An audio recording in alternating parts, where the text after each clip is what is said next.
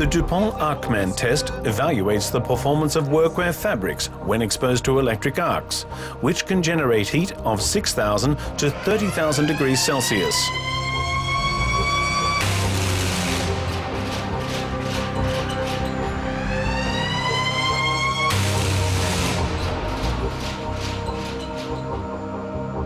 It measures the ability of a fabric to provide a thermal barrier between the arc blast and the skin and resist ignition and break open.